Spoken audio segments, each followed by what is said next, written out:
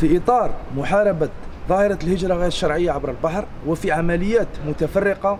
تمكنت وحدات المجموعة الإقليمية للدرك الوطني بوهران بحر هذا الأسبوع من وضع حد لشبكة إجرامية مختصة في تدبير رحلات الإبحار السري مع إحباط محاولات للهجرة غير الشرعية.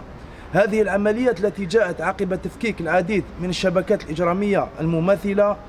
تمت بفضل وضع نقاط مراقبة وتسطير برنامج دوريات من طرف الوحدات الفرعية التابعة للمجموعة. وذلك على طول الشريط الساحلي لولاية وهران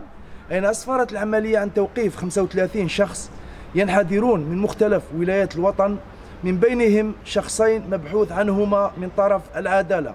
حجز قارب مطاطي وقارب نزهة مزود بمحرك نوع سوزوكي قوة 90 حصان بخاري صفائح من البنزين بعد استيفاء كافة الإجراءات القانونية تم تقديم المشتبه فيهم أمام نيابة الجمهورية المختصة حول جناية شروع في تهريب المهاجرين بتدبير الخروج غير المشروع من التراب الوطني مقابل منفعة مالية وجنحة عدم التبليغ عن جناية تهريب المهاجرين.